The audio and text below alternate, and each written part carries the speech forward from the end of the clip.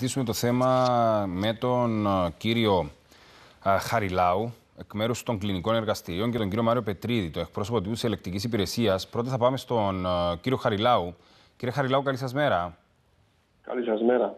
Τι λέτε εσείς για αυτές τις ε, καταγγελίες, Μπορεί να έγινε και λάθος, απλά να έφυγαν SMS προς λάθος κινητά, ή... Όλα, είναι, όλα είναι πιθανά. Ε, από τη στιγμή που έγινε η καταγγελία στο Γενικό Ελεκτή για τη συγκεκριμένη υπόθεση, ε, αντιλαμβάνομαι ότι είναι υποχρέωση του αρμόδιου, της αρμόδιας αρχής να διερευνήσει ε, κατά πόσο ε, αυτή η καταγγελία ευσταθεί και,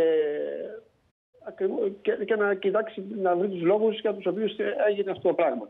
Ε, αντιλαμβάνεστε ότι δεν μπορεί ας πούμε, να, να αφήνεται και να, να αφήνεται στον αέρα να υπάρχει αυτή η ιστορία διότι ε, όταν ε, μπορεί να, να, να οφείλεται στο γεγονός ότι μπορεί να είναι ε, λαθασμένη ή μη ευανάγνωστο τρόπος που εγγράφτηκε ένα τηλέφωνο κλπ. Αλλά αυτά δεν, δεν μπορώ εγώ να, να πάρω θέση πραγματικά. Πρέπει αυτό να το διερευνήσει η αρμόδια. Πόσα είναι αυτά τα περιστατικά, κύριε Χαριλάου, αν γνωρίζετε; Α, δεν γνωρίζω εγώ. Δεν γνωρίζω. Αυτό αναφέρθηκε ε, χθες στη, χθεσινή συνάντηση στην Επιτροπή Ελέγχου της Βουλής από το, από το, από το γραφείο του Γενικού Ελεκτή.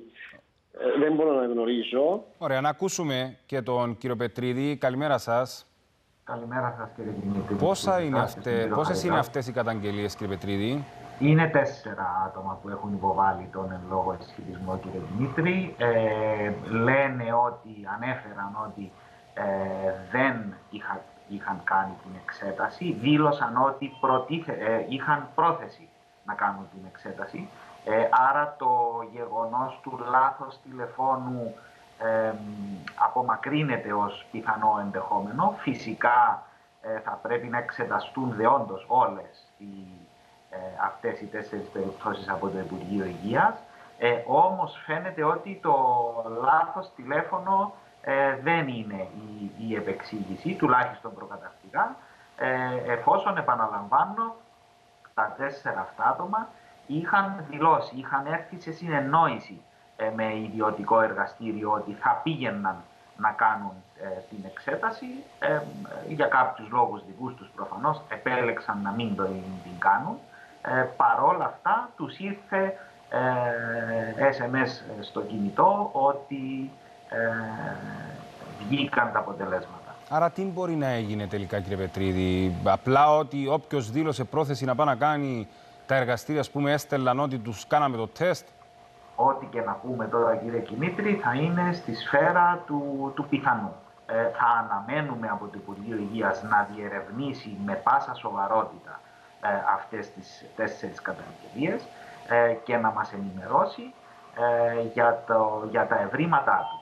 Ε, να, να προσθέσω και να πω ότι δεν είναι θέμα τεσσάρων ε, εξετάσεων στις 20.000, στις 80.000 εξετάσεις. Είναι θέμα το οποίο έστω και ένα λάθος θέτει ένα αμφιβόλο την αξιοπιστία του συστήματος ελέγχου το οποίο θα έπρεπε να έχει ε, σε ισχύ ε, η αρμόδια αρχή, το Υπουργείο Υγείας, ε, ο ενδεχομένως. Και να δούμε αν μετά τη δημοσιοποίηση του θέματος επικοινωνήσουν μαζί σας και άλλοι άνθρωποι που μπορεί να τους ήρθε το SMS και να είπαν έγινε λάθος και να μην έδωσαν σημασία.